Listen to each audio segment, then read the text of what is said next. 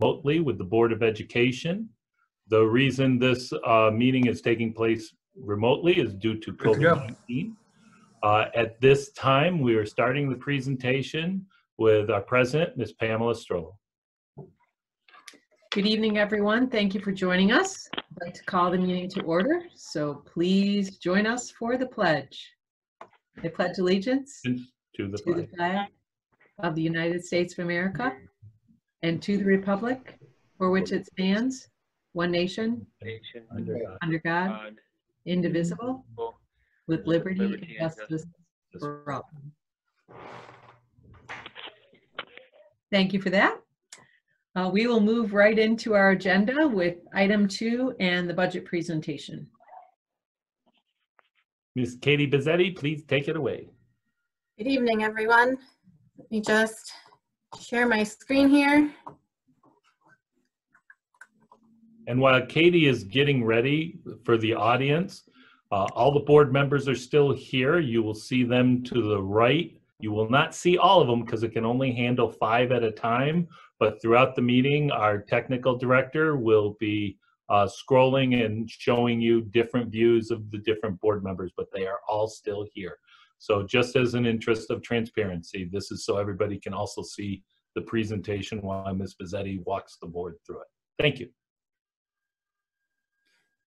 Okay, so thank you, everyone, for coming together tonight. Um, We are operating under a, a, a new, very tight timeframe, um, given recent updates from the governor's office. Um, So two things going on here between the budget and the vote. Um, So the schools are dismissed, um, as we know, now through the end of the year. Um, So we're continuing to work through that in our online learning with our students. Um, From a budget perspective, um,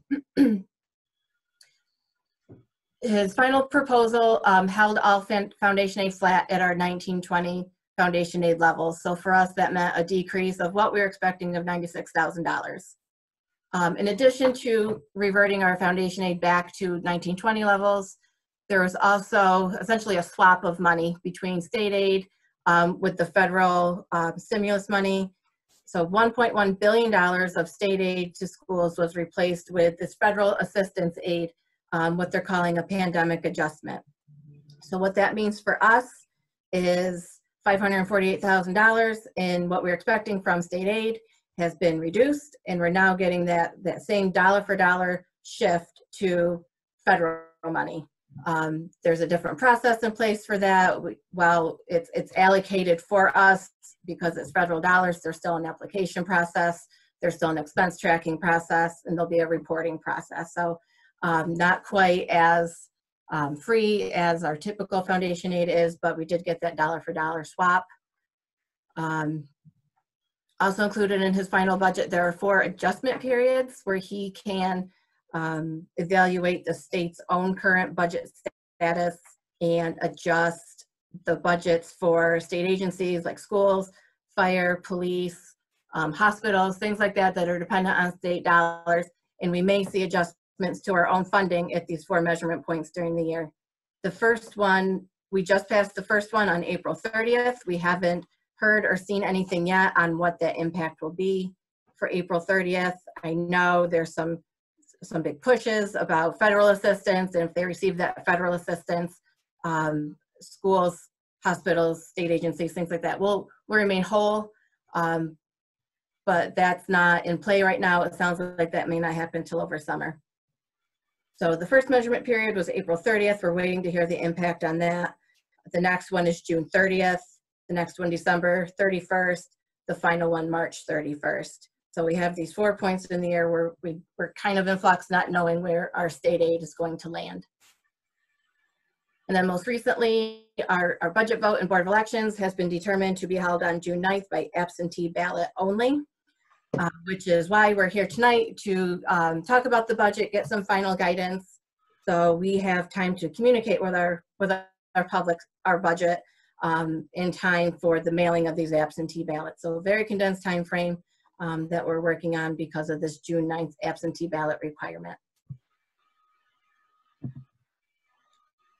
Uh, So just a reminder of our tax levy, um, the inflation rate This year was 1.81.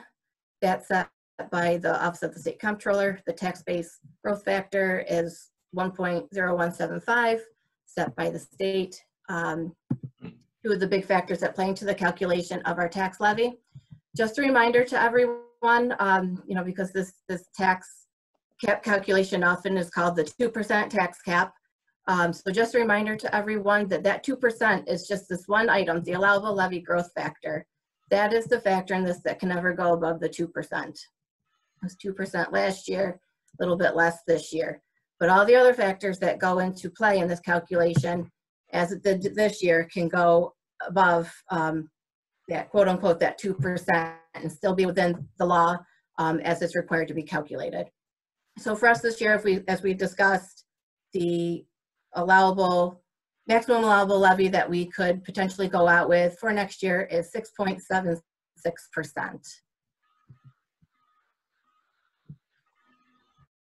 This is something that we continue to talk about um, quite heavily each year to, to show everyone, to illustrate how our levy increase and how our tax rate increase have, have played um, against each other, with each other throughout the years. Um, and you'll see historically back to 2003, our tax rate has been very consistent um, in that 17, $18 range.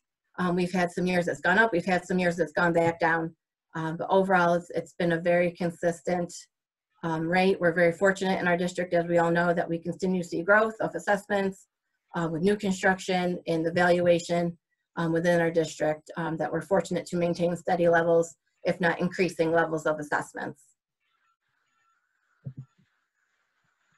And again, as a comparison to our, our neighboring districts, our rate is quite favorable compared to what the other uh, tax rates are.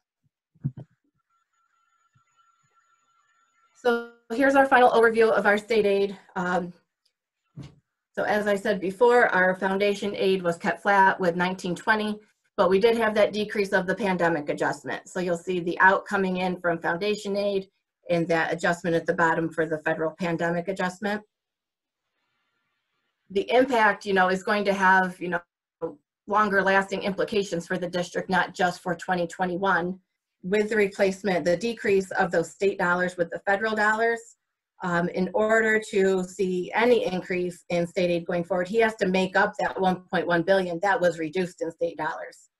So we could be seeing, you know, some tight foundation aid years going forward until they're able to overcome, you know, what was cut and before they can even begin increasing school aid as they wanted. Um, so we saw this adjustment this year with this federal pandemic adjustment to kind of even things out, but the future years will be will be challenging while they begin to somehow replenish that state aid that was reduced this year. So overall, um, with all things considered, our building aid decrease, post aid increase, and a decrease in our excess cost aid, our total state aid did have a decrease of $238,000 or 0.7%. So since we last talked, this is these are the adjustments that have been made to the revenue um, side of the budget. As I said, the foundation aid had to be reduced. Um, the community schools proposal that we would receive $99,000 did not make it into the final budget, so that's been removed. Um, some miscellaneous revenue adjustments of about $8,000 and also a small decrease in instructional materials aid, which is our textbook, software, hardware, library money that we get a dollar for dollar aid reimbursement for. Um, so all told, that brings our revenues down to just under $77 million.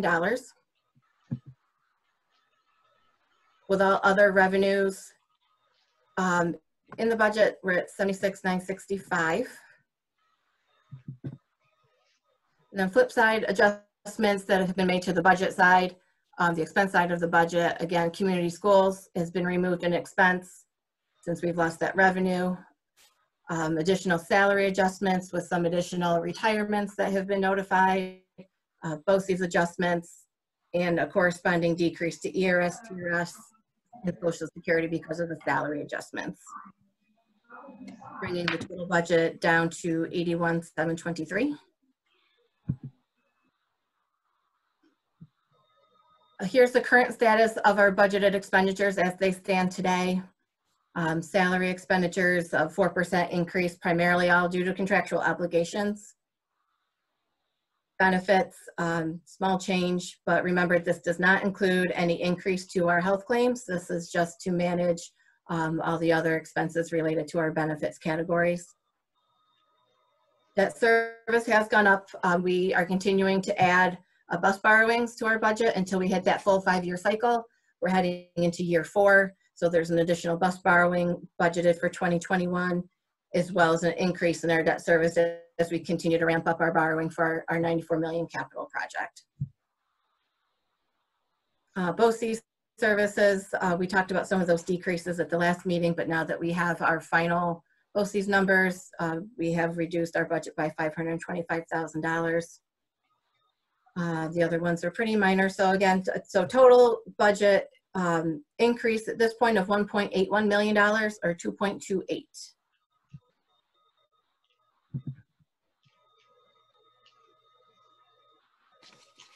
So with all these adjustments combined, our adjusted gap is 4.7 million. We'll continue to talk tonight about the remaining tools we still have left. Um, State aid is obviously um, out of the picture at this point, if not going in the other direction. So as we talked at the last meeting, um, presented what, what our budget would look like if we continued to use our same level of reserves and fund balance as we have in the past. Uh, so for 1920, we appropriated uh, 438,000 in ERS, 150,000 from our employee benefits reserve, 12,000 from unemployment, and our continued 2 million in fund balance. So using those tools into 2021, as we did in 1920, would bring our gap down to 2.1 million.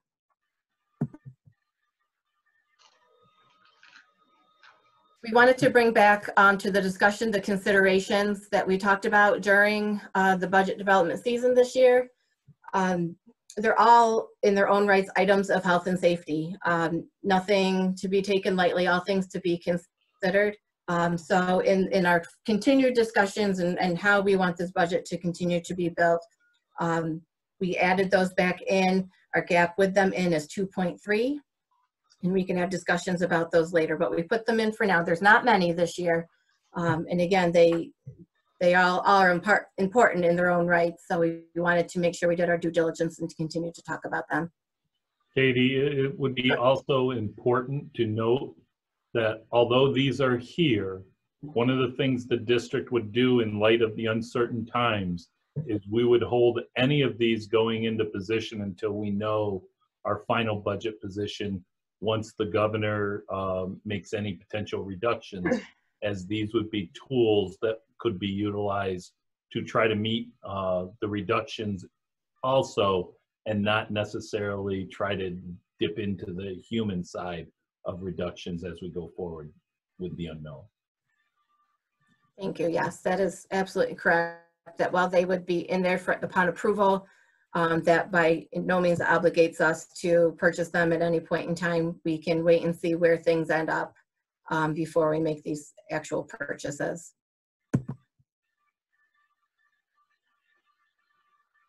So with this information, um, just want to talk about some options we have available, different tools we have available to us, and how um, they impact the, the full picture of, of all the moving pieces we have when trying to build this budget. So based on our current levy, if we went out at the full 6.76%, that's a total levy of 41,487, which is an increase of 2.6. This, that calculation includes the use of carryover of 364,000, which is the maximum amount of carryover per the calculation that we're allowed to use. So with all those pieces, with, with the budget picture we've presented using the same level of fund balance and reserves, that does create a budget surplus of $290,000. So that does two things. One, if everything goes well, um, we haven't addressed health claims yet. So this money could be allocated towards health claims. If we find that things are going the other way, the surplus is a tool to, to react to if we find a loss in our state aid.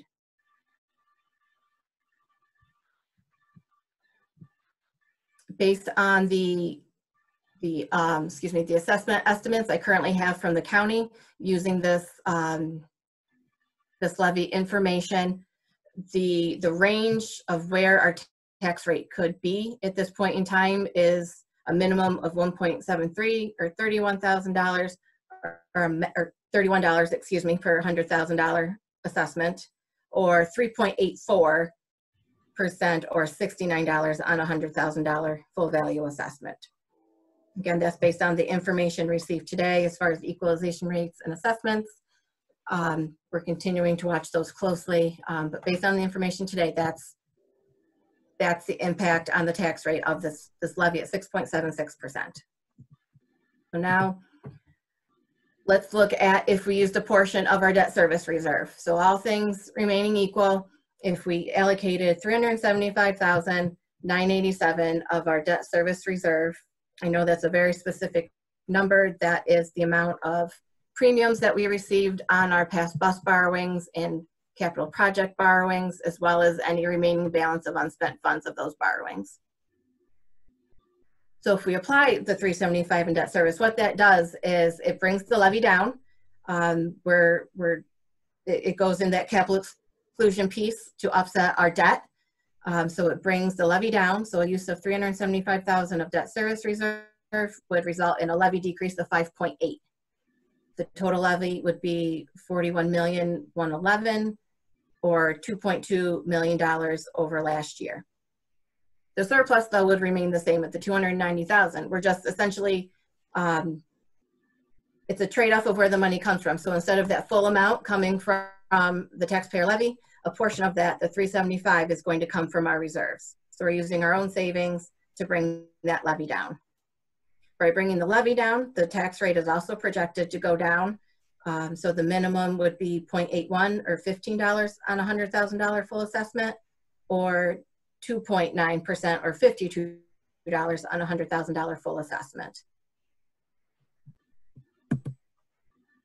Scenario two is still the use of debt service, but let's use a little bit more and see what it does. So in this scenario, it uses $550,000. So again, it's that trade-off of $550,000 coming from the levy and coming from our savings, which means the budget surplus still remains the same. It's at $290,000. Our, our cash in hand is still the same. By bumping it up to 550,000, our levy increase goes down to 5.3%, uh, 40,937, or an increase over last year of 2,078. But again, we still have the same cash because we're pulling that 550 from that debt service reserve. The impact on the tax rate, again, further brings it down because that levy is less.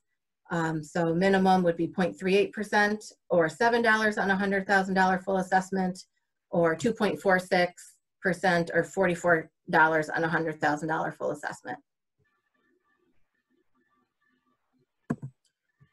Then the scenario three, it, it takes a piece of debt service and it takes a piece of looking at that carryover.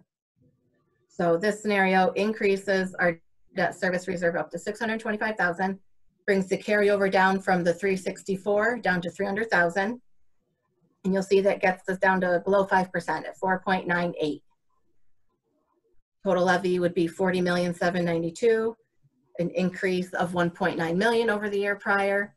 It does bring the budget surplus down some because we are losing that 64,000 from the budget carryover.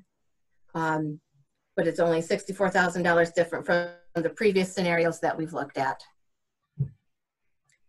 Um, so again, the impact for the tax rate, the tax rate continues to go down as we draw that levy down. Um, so in this one, uh, minimum, it, you know, is projected at this point to remain fairly flat, um, 0.02%. Maximum increase, uh, 2.09% or $38.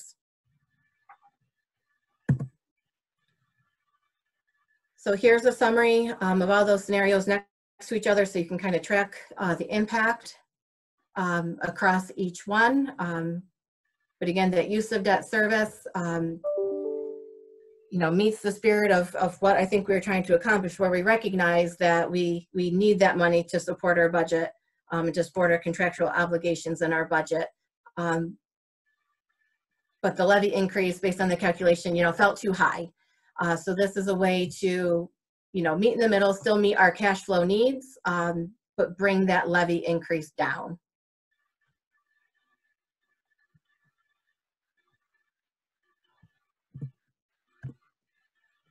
So at this point, um, we can open it up to the board for discussion. I'd be happy to answer any questions on these scenarios, um, but looking for some, some guidance and some feedback from the board on, on how you'd like us to finish building the budget for this year. Katie, because it will be a discussion of the board, we will need you to unshare. Okay, Um, This has been sent to each of the board members so that they have it in their email, so they can talk. okay,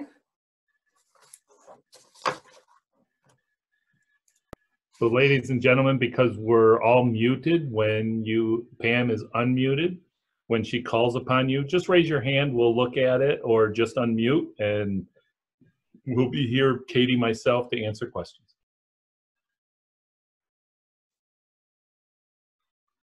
Okay, so who has a comment or a question?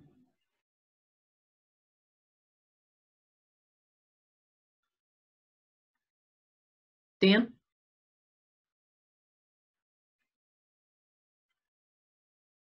You have to unmute, Dan.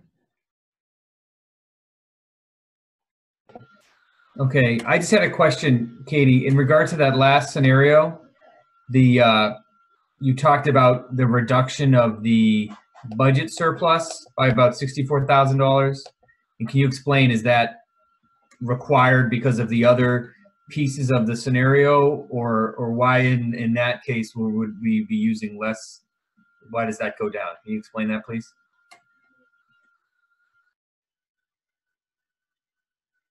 Katie, you're muted. sorry, thank you. Um, the purpose of that scenario was to show the board, uh, what it would look like if we did reduce that carryover and what the impact would be. Um, it does bring down the levy, um, but it is, um, less cash on hand, um, if we don't use the full carryover. So we wanted the board to, um, see that it is an option, certainly to, um, reduce that carryover depending on where, um, the board wants this direction to go. Um, But it's simply an illustration so you could see, you know, what it means if we did use that carryover as a tool. Okay, can I ask a follow-up? I just, maybe I'm not getting it. but I understand what you're saying. It's kind of like moving different hmm But if we're, if we don't include that money in the carryover there, where, do- where is, where is that money elsewhere in scenario three? Because I, I'm thinking of it like it's there. Yeah.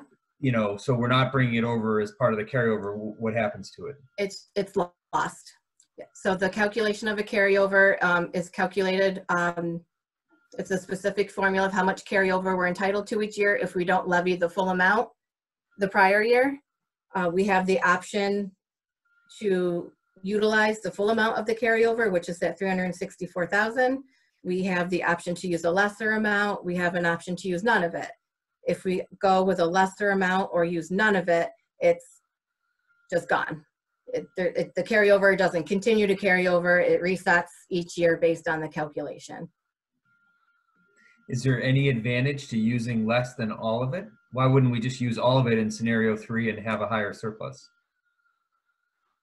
Certainly an option. Um, in scenario three, if we were to add that back in, it does kick the, um, the levy percentage up. Um, so that's, that's the balance of the calculation. If the carryover comes down, the levy comes down, put the carryover back in or increase the carryover, the levy percentage goes up, but it certainly can go all back in. Yes, and if I can add, Dan, that's one of the things, like, as you saw, at first we were working with the debt service. We worked a little more with the debt service.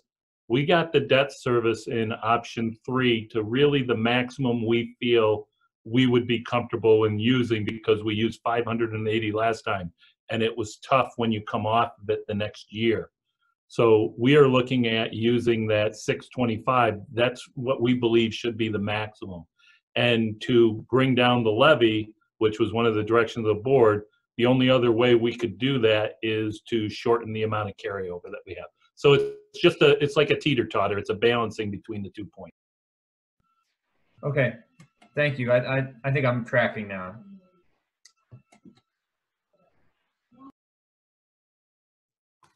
Other questions, comments? Marianne?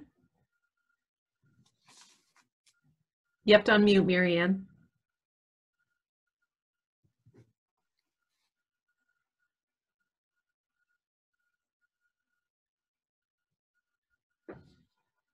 Go ahead and push your space bar and hold it down. Okay, down. I think I'm There you good. go. Um, just, uh, you know, kind of a general comment after listening to Katie, and thank you, Katie, for all your hard work. Um, you know, the um, uncertainty of the years ahead, uh, not really knowing what's going to happen. I think we just need to be really cautious about, you know, where we go.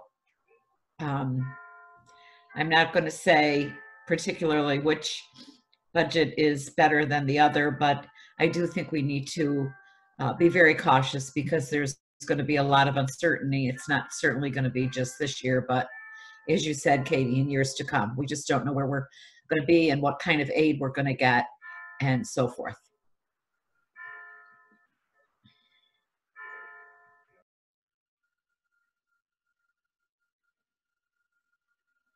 So other questions, comments from anyone? We're going to have to provide some guidance as well. Dan?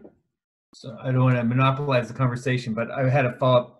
So, and uh, Dr. Douglas, you alluded to this, but in the use of pushing the use of the debt service reserve to essentially as far as you felt comfortable, I mean, is it is it the view of the administration that that the impact of using that 625 is is something that district do you feel like that puts us in any kind of a compromised position financially is there any risk to marianne's point you know down the road that you foresee from that? Because I think, I mean, you certainly heard us in the last meeting, and and in my mind, seeing the levy around that five percent kind of number feels like something that we could we could um, hopefully be successful with in in the vote, and it enables us to you know maintain and not cut, which is all positive. But I'm wondering do you see any significant risk from the use of the reserves at that elevated level? Like Katie and I have both talked about it. I mean, we started at the 550 knowing that we had 580, and when we got to 580, it just wouldn't get it to where we needed. I, I will tell you, we're hoping that as we've done every year with our trend, that if we went out at the option three and the numbers come back typical to the trend, we would be on the lower end of that rate, which would be close to zero, which that's what we were trying to target for the community. But on top of it, it gives the possibility that it could also go to a negative as well. Uh, and it's still much better than last year's budget that we proposed. So we didn't really want to be above 625. We feel we could do that, and we could feel that the next year, if we had to step off or use the same, we still have those tools but we can't do it forever. And we also have to have a game plan to remove it, not just all in one year, preferably. So the debt service reserve does have a, a, a decent balance that it can support um, the use of the 625 um, for the 2021 budget, um, as well as if we needed to come up with a phased approach to begin stepping it off out of our budget and replacing it with other funding sources. Um, it- it's, the balance is sufficient to support that as well. Christine? Um, I just have a question. So again, Katie, great, uh, great information. Thank you for putting together those scenarios. Um, do we understand, you know, the impact? So let's just say we have to go, we have to start the um, school year next year remotely.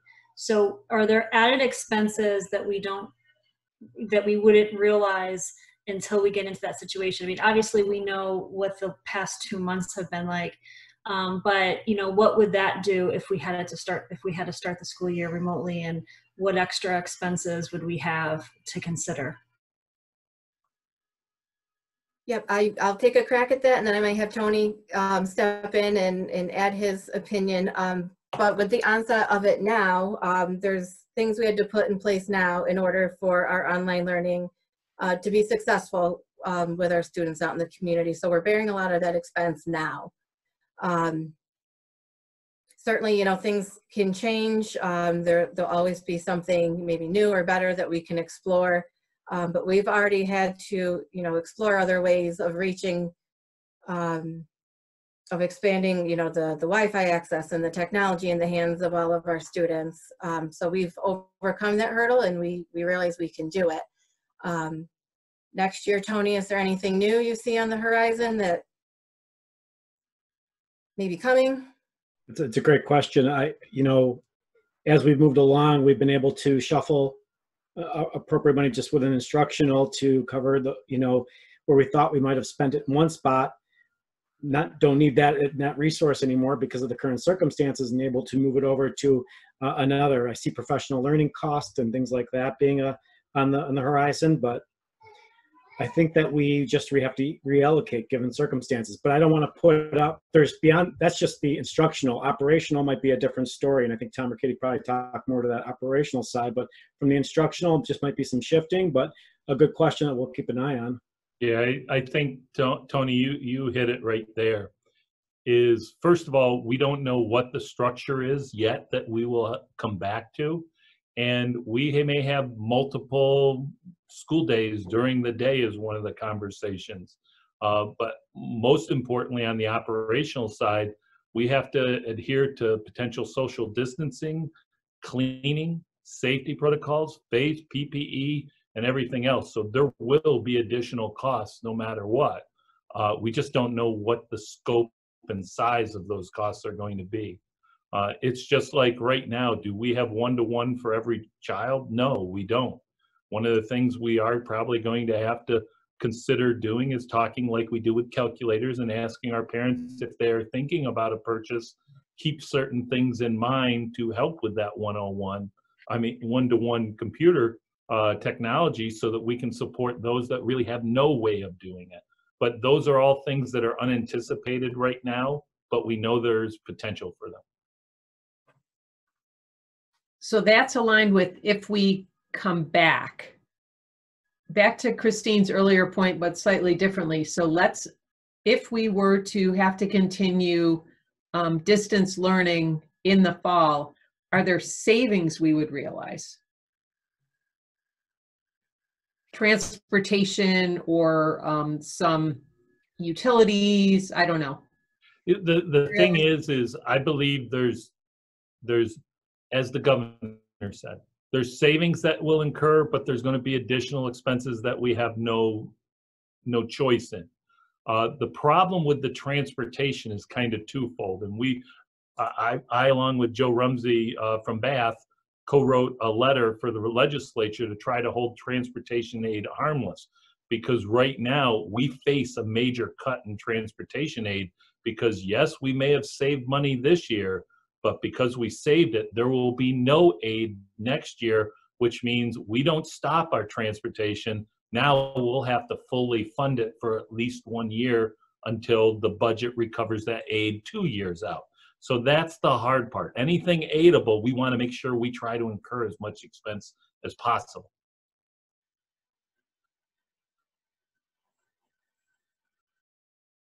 Okay, other questions, comments? Doug? Um, I think um, out of the three options that were presented, I'm most comfortable with, uh, with scenario three. Um, the overall levy increase is still on the high side for me, but I think um, the high end of the tax rate, the possible tax rate, is something that I, I think I can live with and defend and talk to the taxpayers. And it seems like it doesn't have that much, dra- there's not, I would say, there's not a ton of difference between the three scenarios. And so that, that out of the three is most powerful. Okay, so Doug, you're a little difficult to hear, but if I understood the summary of that, in general, you're most comfortable with scenario three. Okay, thank you.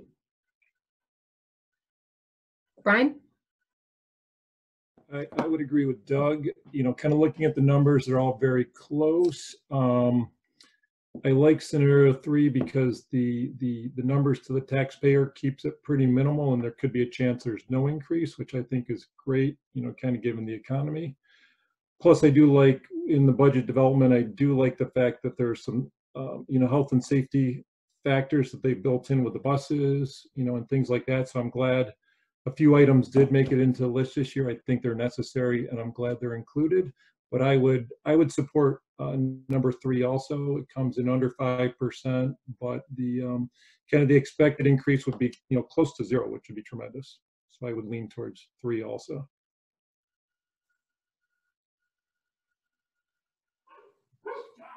All right, anyone else? Warren, let's hear from you then, Dan. Um, I'm good with three, if that seems to be where we're heading. Uh, As everybody has already indicated, it's um, the most palatable towards the taxpayer, and it still gets us a, a workable budget. So I'm good there. Thank you. Dan? Thank you. I, uh, I'm also supportive of three, I, of, of the scenarios presented. I like that the best. Uh, and I agree with Brian. I think that, you know, the, the budget considerations, they're all positive from a health and safety perspective. But, you know, if push came to shove, I would be in favor of, you know, not spending fifty thousand dollars on, on the transportation truck as, uh, you know, we heard they can make it last for another year and using that for say an educational purpose if we had to. So I just wanted to go back to make sure I understood the comment um, in the presentation was that like if we have that in the budget for that item, but until we purchase, I think there was, you know, the comment was along the lines of like, we're not required to, we could theoretically move that money over to pay for an, an educational purpose. Uh, we'd have that flexibility. I wanted to confirm that. Yes, Does that we make- can budget for the item um, with the intent that we're going to buy it if, if the state budget works out. If we find we're in a tough state aid crunch and um, we're starting to make those decisions about how we can make ends meet, it would not be a purchase that would have to be made. And, and Uh, basically, Dan, so that you know, we would hold off on any of our major purchases along this line until. Very late in the year, probably after the new year before, really after the third point where the governor could cut the budget, because the fourth one is when they have to do a new budget. And we don't believe the legislature or the governor would cut at that point just to establish a new budget a day later. Okay, that's helpful. And that would be my, you know, given the risk as the year develops and the possibility of impacts we can't anticipate right now, I would feel it would be, un- you know, I wouldn't be comfortable with us buying a shiny new truck if we had to make some other cut. I understand the intent is, right, that we would get it, but I, the fact that we have that flexibility if something un, you know, happens as part of those, um, periods of, of possible change, then, then I'm comfortable with the idea of including those. And I do like three of the options. So thank you. Shayla, how about you? Um, I like three, but um, two also looks good. And what is the major difference between two and three? Like, how how much of a tight crunch is there a difference? Um, so the difference from a budget perspective, um, the surplus goes down sixty-four thousand dollars in, um, scenario three, so sixty-four thousand dollars less essentially in cash flow.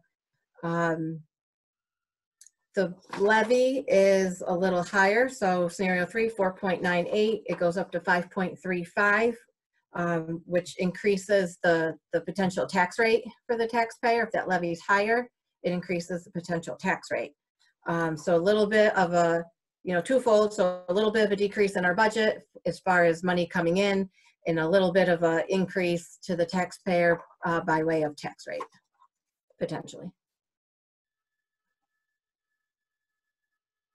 Marianne, how about you in terms of scenarios? Um, I, I could go with scenario three.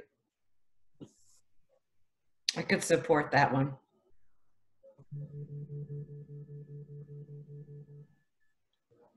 Christine? Um, I, you know, I, I would also be supportive of scenario three. Um, I'm also not opposed to scenario two either. I think, um, you know, it would still be, you know, at, at the minimum increase, it would still be very low. And, you know, we all know that these numbers are always very conservative and, and they usually come in lower than what we usually plan for. Um, you know, but so I would, I would be supportive of either one, but if the majority is, is focused on three, then I'm fine with that. Thank you. So I agree with uh, Christine and Shayla. I certainly support three, but if we found we had to go to two, um, I could support that as well. Well, if that, that's what we're hearing from the board, uh, the administration certainly could work with either one, two, or three. But for the difference of, a- I think it's about sixty thousand dollars, I would strongly recommend the board to give us the go-ahead on option three. The reason being is we, you know, as we were trying to put this together, we're hoping that our numbers come on that aggressive side and even better in August, that we might see a and below, be below that zero. One is because of the time, but two is to because if, we can keep this trend going, especially knowing where the rate and what the rate does, we feel that next year is going to be the really harder year. And we want to try to put ourselves in line again. And if possible, if it does come back negative, this is one of the things that I'm proud that the board can say over 15 years, but I can say over five, the tax rate has not gone up since I've been here and also has not gone up for over 15 years from the high at that point. So I think that's really something we need to resonate with our community, and I hope they realize that. Okay, so Katie, Tom, you have what you need? We will prepare the budget at those option three number. Now, the hard part is, and I'm sorry I have to ask you to do this, but we will need to do a remote uh, Board of Education meeting Thursday morning at 7:30. And the reason why we need that is because we've got to start with our absentee ballots and get them in the mail, uh, as well as we must have our newsletter done.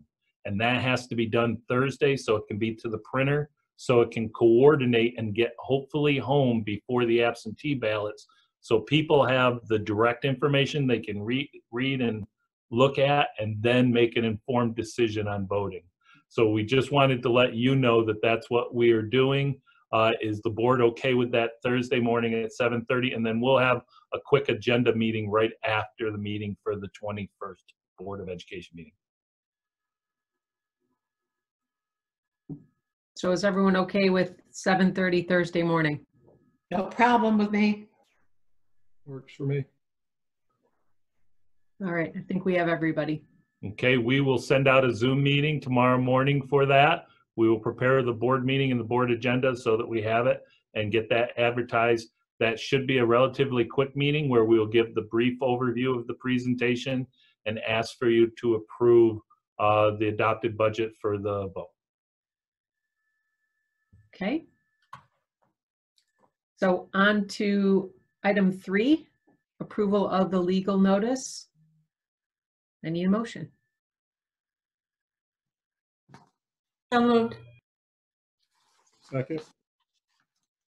Okay, any additional questions or comments?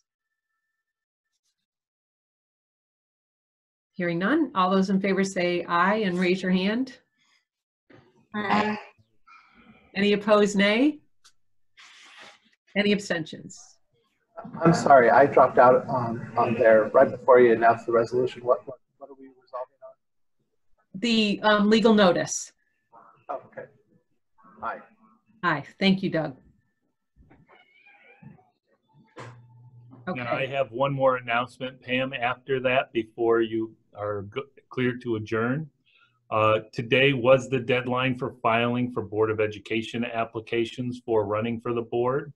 Uh, We did have a resignation of a board member prior to the annual elections closing. And that would mean that we actually have four seats on the ballot.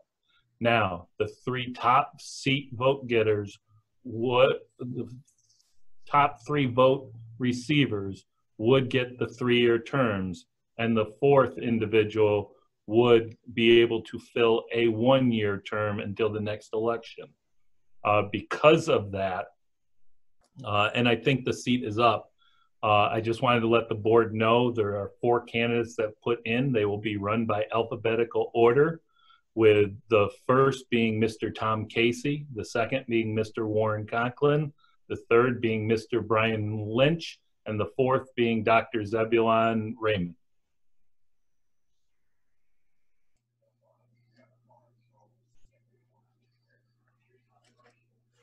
Okay, is that all that you had?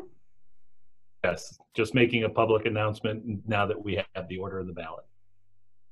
Okay, so the last thing I had is I wanted to wish uh, Shayla and all of our school nurses a happy Nurse Appreciation Week, even though I think it ends uh, tomorrow.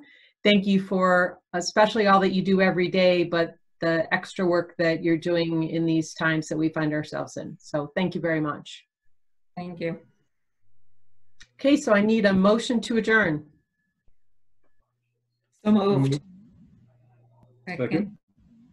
All right, thank you, everyone. We will see you on Thursday morning. Thank you. This concludes our Board of Education meeting. Bye-bye. Bye. Bye.